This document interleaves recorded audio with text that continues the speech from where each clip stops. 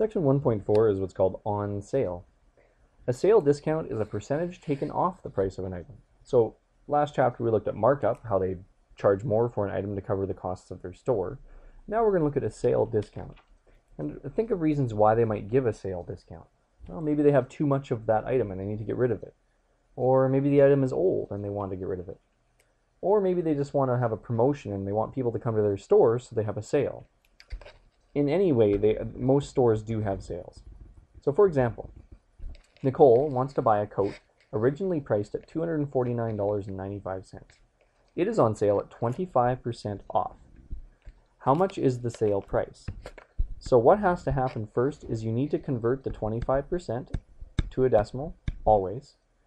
And then you have to think about, okay, well, let's see here, $249.95.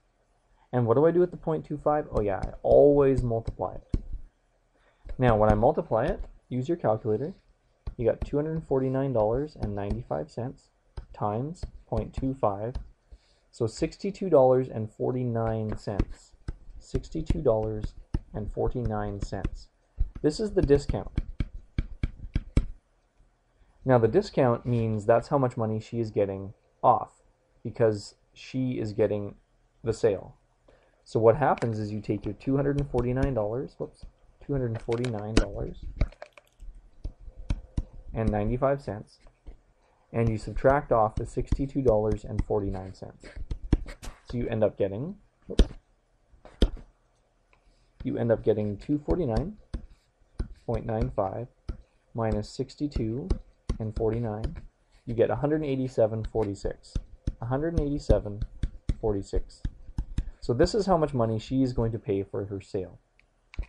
Next it says how much will she pay if 5% GST and 5% PST are charged? So this is obviously not in BC. This is in a different province.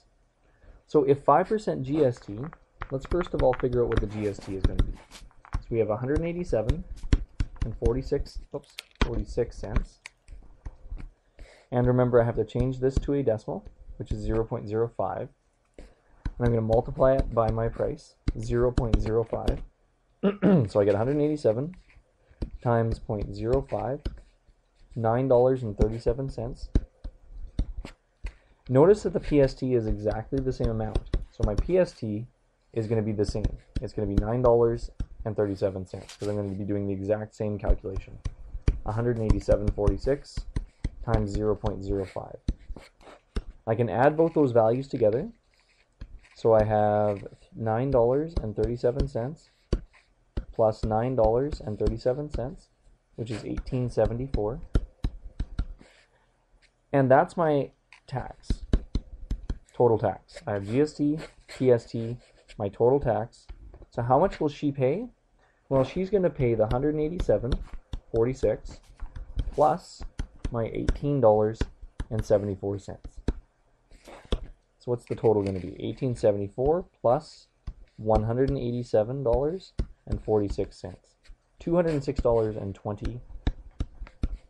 Now notice it's 0.2, but that doesn't mean 2 cents because there's a zero after that I have to add because it's money. So it's $206.20 is what she's going to pay.